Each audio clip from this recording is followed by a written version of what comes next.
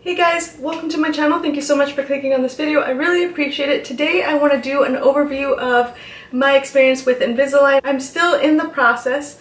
Um, as you can see, my teeth are not completely straight yet, but I have noticed a huge difference from the moment that I started to now. As of now, I have 20 Invisalign liners. The actual Invisalign is called a liner, so I have 20 of them. And then what I do is I switch from one to the other every two weeks. So after two weeks, I pop the one that I currently have on, I put it back into the where it came from, and then I grab the next one over and I put that one in. Fortunately, today is the day that I go from uh, liner number 10 to liner number 11. So this one right here is number 11 and I will be putting it on at the end of this video so you guys can see how I do that. Before I get into that, I wanted to answer a couple of questions that I've had um, throughout this experience. The first thing is, when you get the Invisalign, you're given this packet right here and this has these two holders in it. And in my first video where I get my Invisalign for the first time, you can see that I say that I'm going to have my top one on one of, one of them and my bottom liner on the other. And I've actually changed that since um, doing this process. So what I do now is I keep one of these in my purse at all times, whatever purse I'm using, and then I keep this one at home. So that way I make sure that I'm not without my case at any time. And I actually put both liners in one because it's very easy to distinguish which is the top and which is the bottom. Now to open these all you have to do is press and another thing that I keep in here is this thing right here. This is called a seater and when you put the Invisalign in it's pretty tight so what you want to do is you want to bite this across your mouth, across your teeth like so and go all the way around so that that way the liner gets seated right into um, the space that it has to be so that it starts to move your teeth as efficiently and quickly as possible. I wear each liner for two weeks. I've talked to people that wear a different liner every week. For me, just because of the way that my teeth were spaced and the crowding, I'm going to do every two weeks. Now, when you first put in the liner, you're going to have a lot of pain. So I'm not going to lie and say that it's not painful because it definitely is and there's a lot of pressure. So the first three days when you wear the liner, is really where the maximum amount of movement is happening. The next few days is really where your mouth is getting adjusted to the new position of your teeth in that moment. So there is still some pain that happens during that time, but it's not as bad as the first few few days. I wear the liner 22 hours a day, so I only take them off to eat. And before I started to have the Invisalign, I would eat pretty much regularly. I did my carb cycling and you can see that in a different video which I'll put right here.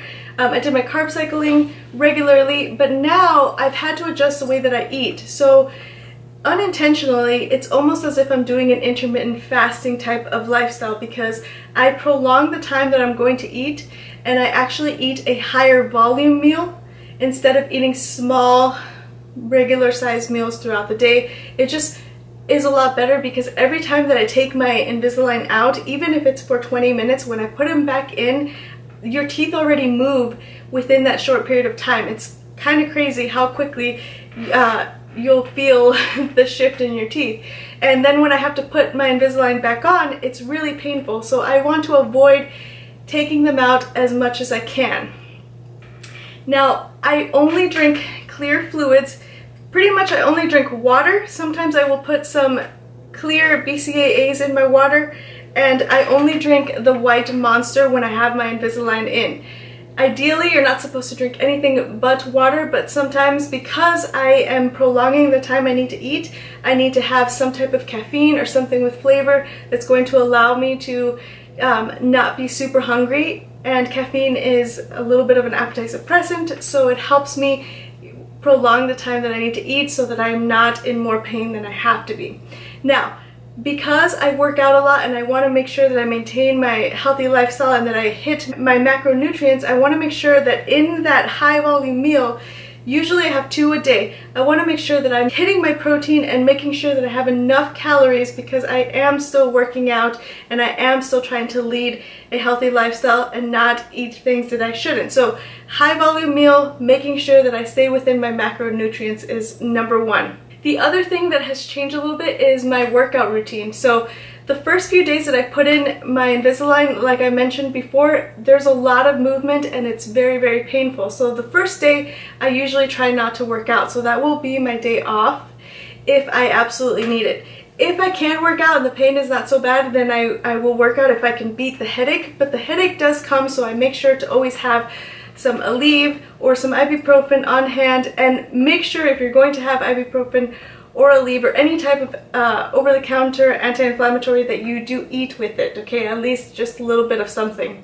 Usually I will limit my cardio on the first few days after I put my Invisalign in because when your heart rate is accelerated, you can feel the throbbing in your gums and it becomes very uncomfortable. So I've had to change a little bit how I do my exercise. So the first few days after I put on my Invisalign, I do more of a strength training at a lower intensity, a little bit longer, and then after the fourth day or so, then I can kick up the intensity and get a little bit more cardio and then lift a little bit heavier weight because I'm not feeling the throbbing and the pain that comes um, in my head and in my face. After two weeks of getting the Invisalign, they put on my teeth small glue-on things that are called buttons and I pretty much have them on every tooth except for the front teeth right here on the top and a couple teeth in the middle on the bottom.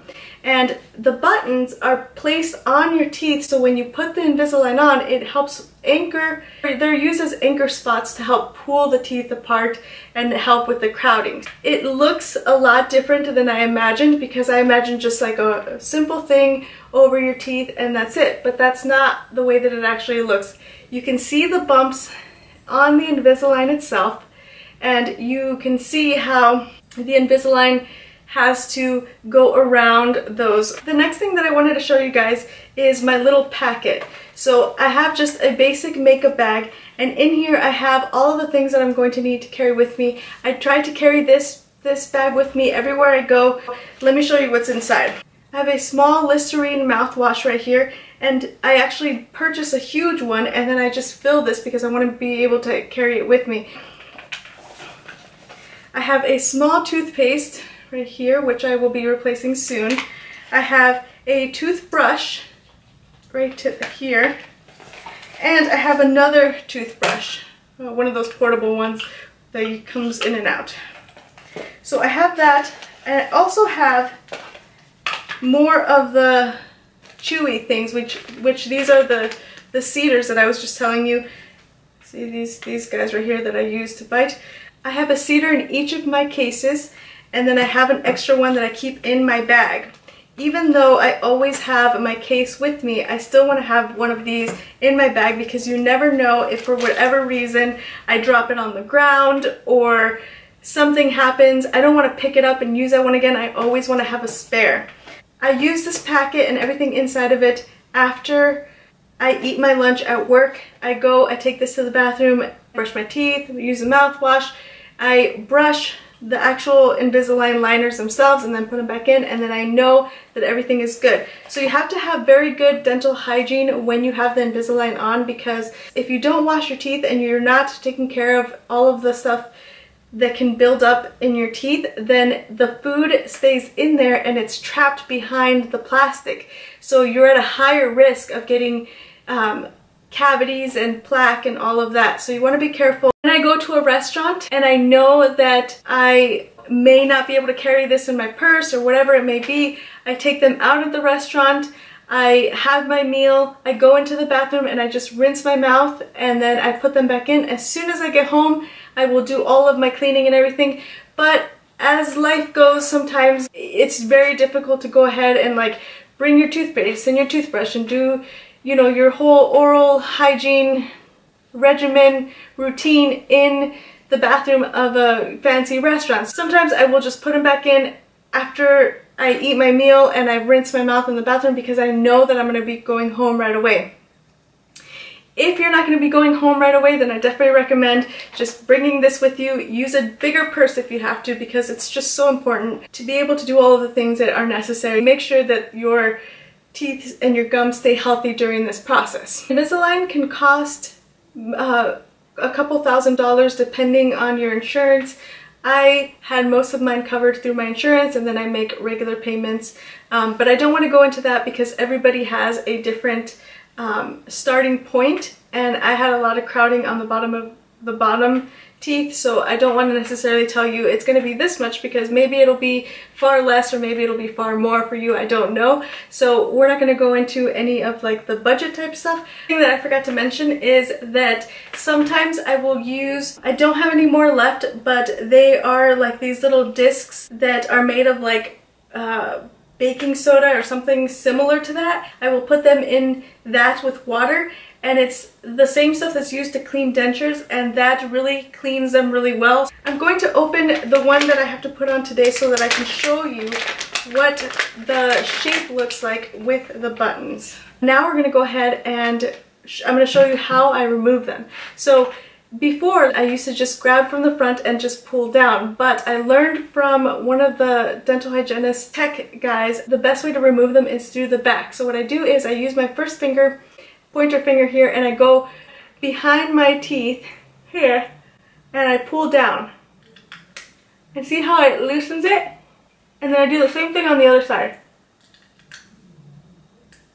And see, it comes out super easy. So because today is the day that I have to switch them and I'm going to tray or liner number 11, I usually use put my old ones in here. I'm not going to put them in here right now because I'm going to clean them and then put them in there. But it's a really good idea to save your liners just in case something happens with the ones you're currently wearing. If something were to happen to the liner and you don't have the one that you need to wear next or it's too soon, then you can always pop in the old ones um, until you can get to the dentist. So now I'm going to take off the bottom ones. To do that, I use my thumb and I go to the back. Now this time, instead of going inside the curve, I'm going on the outside, right here, and the other side. And now I just lift up. So that is a lot less painful than it used to be.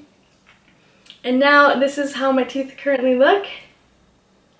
And I am ready to put in the new ones. So I have the new ones right here.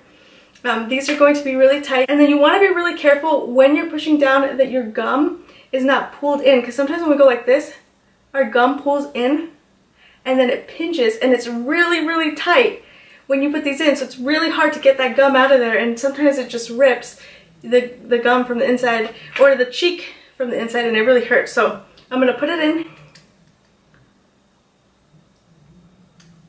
and then push down. So right now it's not in all the way, but I can't physically push it down anymore without using the chewy seater things. So before I do that, I'm gonna put in the top. I may, it may be hard for me to talk here in a second, but bear with me. So I'm gonna put in the top, make sure my cheeks are pulled off. So here,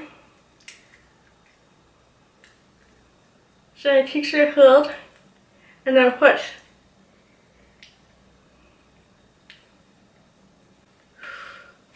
Okay, so I got it in right now. It's pretty tight. I'm going to use the seater. And I'm going to start from the back. And just bite down.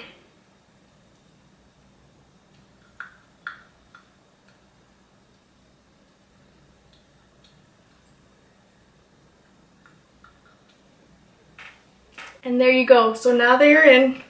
Now every time I switch them, I always feel like I talk a little bit weird just for the first few hours or whatever. Um, perfectly normal. If you haven't checked out my first video where I put them on, check it out right here because I talked way weird that first time. That It's so funny actually. I don't even like to look at it because I'm like, oh my god.